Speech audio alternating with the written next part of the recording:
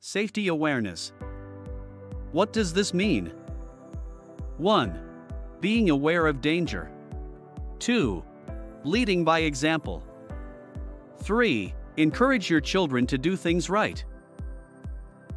4. Always remember safety first.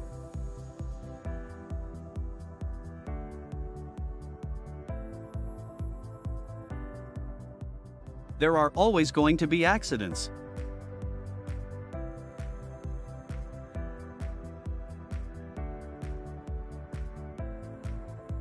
The only thing you can do is to try your best to make sure they are not fatal.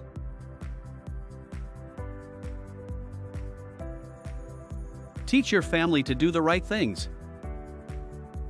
Always try to use pathways or sidewalks where available.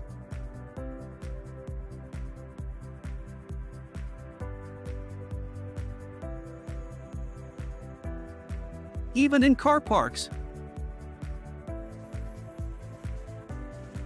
Make sure your family are aware of danger. Inside and outside your home.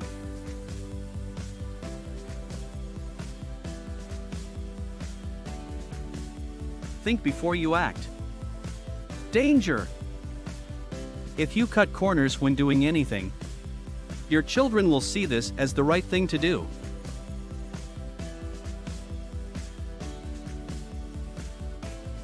When your children do the right things, give them praise or a small token gift of a sweet or something to encourage their awareness of danger and to help keep them safe.